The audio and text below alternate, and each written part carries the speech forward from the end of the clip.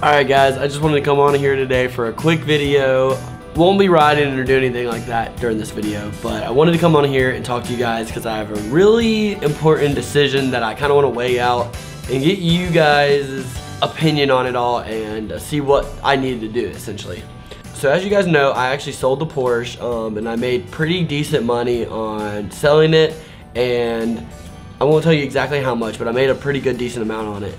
And so I was thinking about that and like thinking about what I want my next car to be. And I was really, really going for an Audi RS3, probably a 2017, 2018 Audi RS3 in white or the hyper blue. And so I was thinking about that and like thinking about weighing up all the options.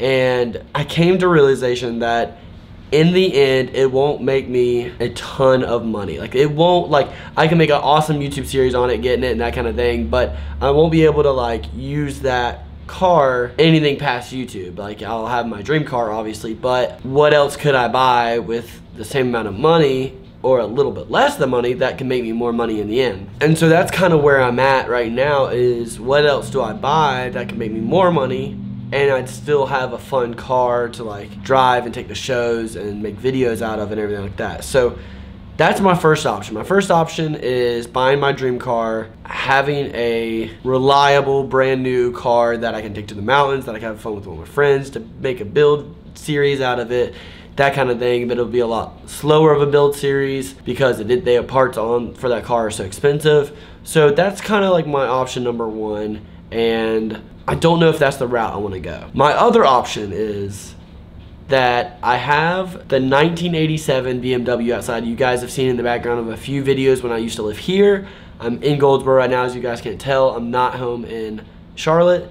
And so I really am considering building that E30 outside the BMW for about five to six to seven thousand dollars. I mean, it needs a new motor, it needs to be manual swapped, it needs a lot of things, wheels, coilovers, turbo kit maybe, I don't know, you guys like that. But it needs a lot, and I think about six to seven thousand dollars, it would be pretty pristine and pretty clean. So that's what I'm thinking about for my car side of things. But I still need something that I can make a lot of money with. And so that's when the idea came up about getting a Can-Am X3. And as you guys know, all of my friends have X3s. I love X3s, I love driving them. Y'all never really got to see me drive an X3 and it's a lot of fun because I actually do drive Kyle's, Haley's, and Braydon's quite a bit. So it'll be cool for you guys to see that first person for for me to get one. But what I'd do different is not only would I be able to make you awesome YouTube content out of it, I'd be able to have another way to make more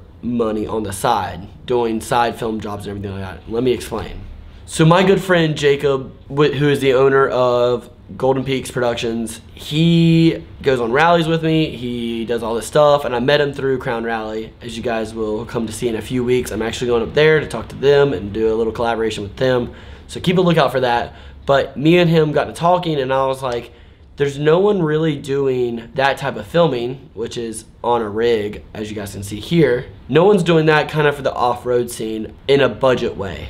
So everybody, you can pay $100,000 to get a commercial shot, but why not spend 20,000 and get a guy who's already figured out the system and not production grade. Obviously I'll have production quality as we are talking right now with good production quality.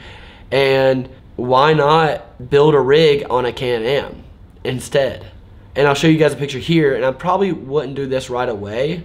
I'd probably do something like this, where it's like the K with the rods and like, you know, the stabilizer on the front of the, or the front or back of a rig. I'd probably do it more of a budget way rather than doing it full production right away. That way I can, you know, pay it off easier and that kind of thing. So, and even be able to film people like Haley, Kyle and Braydon to a new extent and anybody else because I'm, if I got an X3 I'd make it street legal. And so it really opens two worlds up for me to make more money and to produce better videos production wise and quality wise and while I really want both about the same it would be so cool to have the RS3 right now in my life. While I'm 24 and you know having your dream car at 24 is a big accomplishment and it would be cool to do that.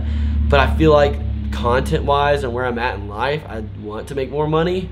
And I feel like having an X3 will better benefit me for my career rather than me going ahead and spending money on the dream car, why not buy this Can-Am, buy this rig, buy this setup, buy this camera, and work and use all that money that I make off that for an RS3, go ahead and pay it off and then have dream car and another and still have both ways to make money. And i feel like there's obviously a right answer here but i just wanted to get your guys' opinions. It'd be really cool to have either or or both at the same time rs3 and can-am but i feel like right now financially wise it'd be smarter to invest in something that's going to make you money rather than go ahead and buy my dream car. So please let me know what you guys think kind of already have a feeling. I'm gonna go to Performance East while I'm here and just look at them. I already know which one I want, and so like I've already done all the research kind of. So I really want to get your guys' opinions because that is really important to me and what I do on this channel. I hope you guys are obviously having a great Christmas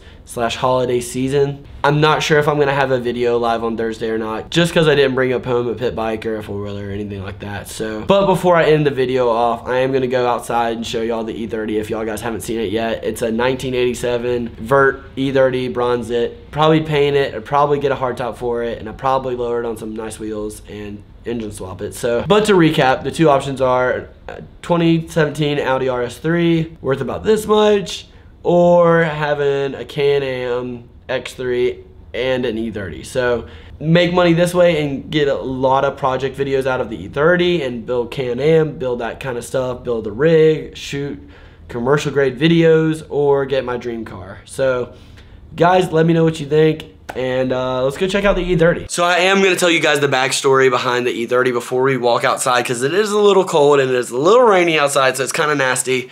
But I wanted to go ahead and tell you guys the story of where the E30 came from and why it's important to me. So this E30, as you guys can see right here, right there. It was actually my grandma's. She bought it brand new in 1987 and it's actually crazy because there's actually a hitch on that when I got out there there's actually a hitch on the back. She used to tow jet skis, a two, a dual trailer jet ski all the way to the beach from here. So it's about two and a half hours, but she used to tow jet skis with it all the time to the beach. So it actually has about a little over 320,000 miles on it. So here it is, you guys can't see, there's a tarp over with some stuff on it, but I mean, here's the hitch. Isn't that crazy? Like, she used to tow with this car. That's pretty cool. But like I said, it is a vert top. It needs a new top. It needs a bunch of stuff. The suspension's obviously shot on it. But as you guys can tell there, like there's the front end. It looks pretty sick. And like my main thing would be able to engine swap this car for a video, slam it for a video, get new wheels and tires for a video, replacing the hardtop, how to engine swap a car, I don't even know how to do any of that stuff yet, but I'd be on the ride with you guys. So let me know. This is this would be a really cool project. Would be restoring my grandma's car. Would be really cool, especially it being an E30 because those are one of the coolest classic cars, classic cars to me now. So let me know, guys. I hope you guys have really enjoyed this video. I'm gonna try to upload on Thursday. Don't know what I'd upload yet. I'll read some comments. Maybe we can talk about this again. It's really cool that I get to come on here and be able to talk to you guys about my decisions and uh, make you guys a part of this because because YouTube is a really big part of who I am. And I love watching YouTube. I know you guys love watching YouTube. And so this is just gonna be a really hard decision for me. So let me know. Like I said, I'm gonna try to video some stuff this week, but it might be raining all week. So I don't know if I really can even get something out. So hope you guys like the look of the Subaru. Leave a like, leave a comment. Subscribe if you haven't already because guys, we are so close to 70,000 subscribers. I was actually right at 70,000 and a few weeks ago it's reset back to 66. So I don't know what happened there. But if you guys would subscribe if you aren't already. Hope you guys have an awesome Christmas week. And if I don't see you before Christmas, Merry Christmas, guys. And uh, I'll see you guys before New Year.